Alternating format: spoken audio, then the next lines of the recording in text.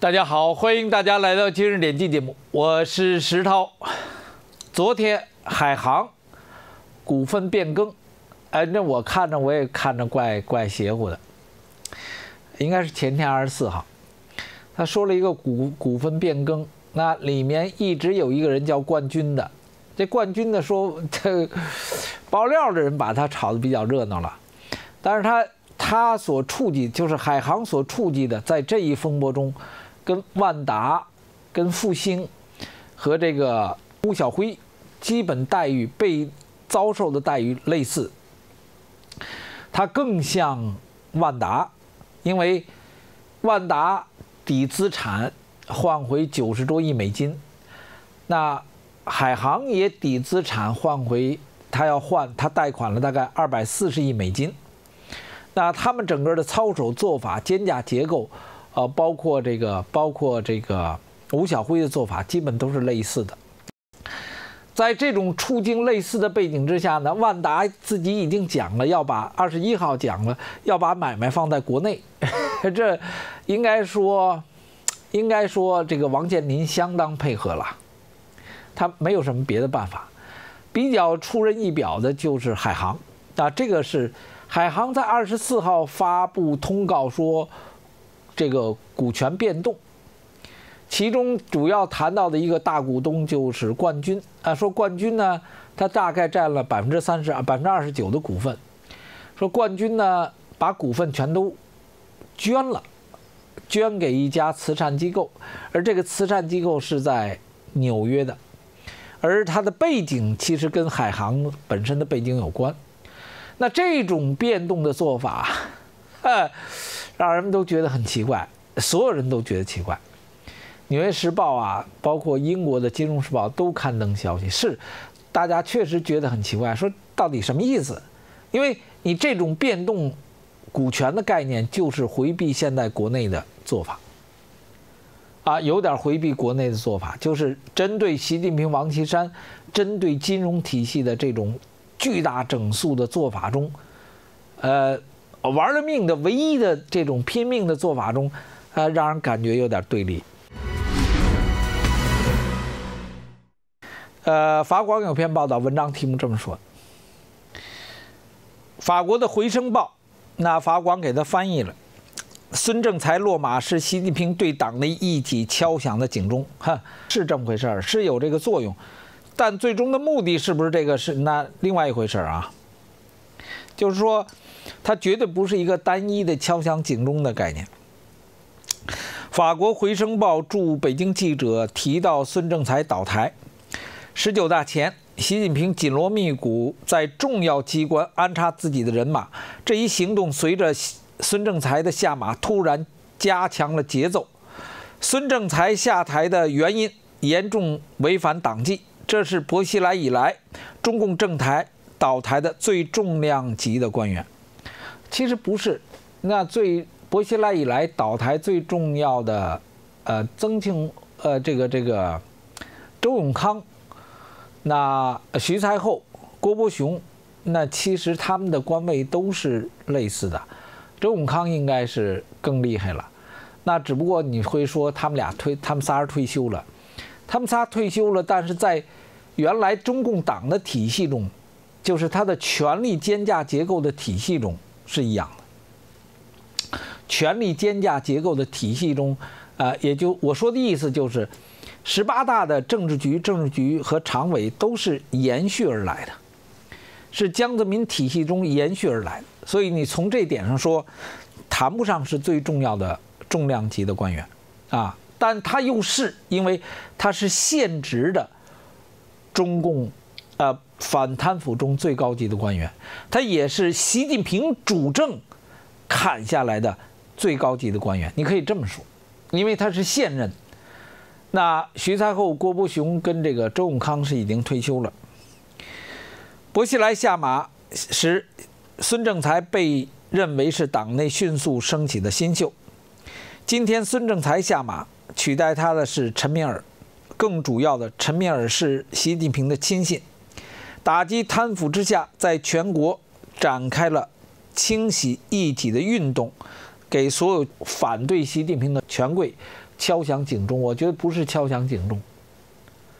根本不是敲响警，因为今天被砍杀的不是一个两个了。孙政才只只不过是他的级别，那意思就是在整个我跟大家原来讲过，在过去习近平的年代中，这五年的年代中，他没有国策，他没有国策，他只有在党内的大清洗，因为很清楚，他没有权利，他谈什么国策，他拿出任何政策都会被别人玩死。好，他拿出任何政策都会被别人玩死。二零一四年香港闹到这份上，习近平不多不说话。二零一七年六月七月一号，他到了香港；六月二十八号到了香港之后，他立刻讲了一大堆，非常缜密的、严谨的阐述他的看法，一国两制的看法。前面他是哑巴，没看着，然后他讲说。在讲话说，我一直很在意、很关心香港的状况。他关心，他不能说，道理是一样喽。因为他的做法是要反对江泽民、曾庆红在邓小平死后二十年来建立起来的完整的中共党的权力体系。这里面包括人马、包括方针、包括政策、包括机构，所有都在其中。啊，所有都在其中，所以这是，但是有一点，拿下孙政才呢，对现在十八大之中的整个政治局委员，啊，中央委员，这是绝对的震慑作用，来稳定他十九大之前这段时间里他要做的事情，所以不是警钟，是直截了当的砍脑袋。从四月六号、七号，习近平见面川普，啊，中美关系出现了很大规模的改变。那里面建了四个平台，其中有一个是经济的。但有关经济问题呢，曾经有个说法，给习近平一百天，呃，大家要一百天。那一百天之后，哦，没有看到太多的动静。关键就是汪洋在一百天的时候来到了美国。但明显大家没谈拢。那美国之音有篇报道这么说的：美中贸易进入了更棘手的阶段。这是罗斯讲的话。罗斯是美国的商业部长了，在星期二出席华盛顿经济俱乐部午宴时提到，中美的贸易问题进入了棘手的状况。呃，四月份敲定了美中百日计划。此后，美国牛肉在被禁十四年后重返中国市场，在生物科技和金融方面也有了进一步合作。呃，我们看到了这一部分成分，但现在我们进入了一个更加困难的阶段，因为我们需要解决一些更棘手的、更深层次的问题，这需要这个过程。他这里谈到的、涉及到的主要是钢铁，和中国廉价的钢铁工业和钢铁进口。造成了美国钢铁业的衰落，呃，工人失去了工作，呃，大概是这么个说法。那这个讲法就很特别，这个讲法给我的感觉就是，那百日计划并不是没有达成，那百日计划本身呢，呃，它也进入了一个过程中。那金融方面，习近平已经明确表示会给一些国外公司发金融牌照，啊，保险呢，可能这些。不知道银行会不会进入中国，完整的进入中国，那我们不知道。但是，它确实兑现了。所以，罗斯的讲话是为了进一步的在这个基础上进一步打开中国的大门。你反过来看，习近平干嘛了？从四月份开始，到今天我们看到的，习近平竭尽全力确保金融安全，所以放宽了美国的条件。减少跟美国之间的摩擦，他完全着手于着手于在中国境内对他最威胁最大的和最具有决定性，所以他要的是时间，要的是时间，要的是环境，而不是真正跟美国之间的贸易上的往来，没到那时候。他只有在结束把国内的整个状况结束之后，才能谈到真正跟中美之间的正常的贸易往来。BBC 的报道：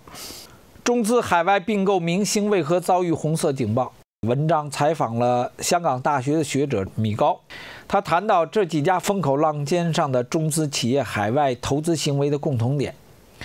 都是通过大举借贷支持它海外并购，那带来过度扩张，最终难以偿还贷款的风险，就这么回事。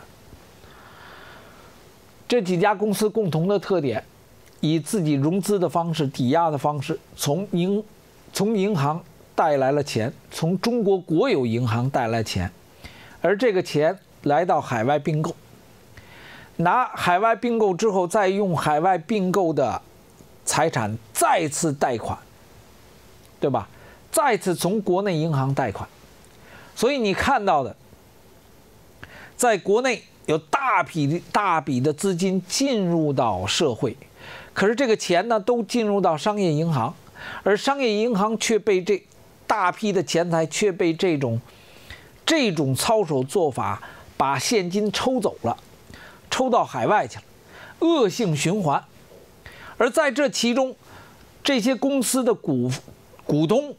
利用这个办法，把银行的钱变成自己的钱，那抽空了中国境内社会层面它正常实体经济所需要的流动资金。